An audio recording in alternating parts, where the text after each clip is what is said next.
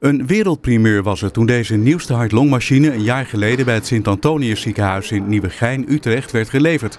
Deze geavanceerde machine neemt de bloedsomloop en longfunctie van de patiënt over tijdens een open hartoperatie en bevordert het herstel van patiënten na de operatie. Na een jaar van testen en opleiden zijn er nu negen van deze nieuwe hartlongmachines in gebruik genomen. Deze nieuwe hartlongmachine is heel anders dan de oude hartlongmachine, die zie je naast me. Daar zie je heel veel verschillende schermpjes die allemaal informatie geven over wat er gaande is in de patiënt. Deze hartlongmachine heeft alles geïntegreerd. Het voordeel daarvan is dat ik alle informatie vanaf één scherm kan zien.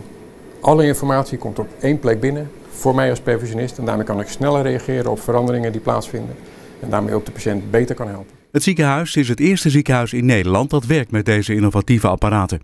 Voor het Sint-Antonius, waar veel specifieke hart-long-expertise aanwezig is en dus patiënten uit heel Nederland worden behandeld, zijn de hart-longmachines een enorme meerwaarde. Het Antonius ziekenhuis is echt een van de meest uh, vooraanstaande hart-longcentra van Nederland.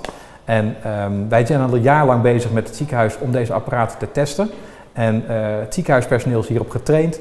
We hebben allemaal zaken bekeken van nou wat kan beter, wat kan niet beter. Tot nu toe hebben we alles geoptimaliseerd. En een maand geleden zijn ze dan ook echt in gebruik genomen. En daarmee is het ziekenhuis echt helemaal klaar voor de toekomst. Het Sint-Antonius is het eerste ziekenhuis ter wereld dat deze nieuwe hart-longmachines gekoppeld heeft aan het elektronisch patiëntendossier, het EPD. Daarnaast is die machine ook gekoppeld via het EPD aan bijvoorbeeld de anesthesieapparatuur.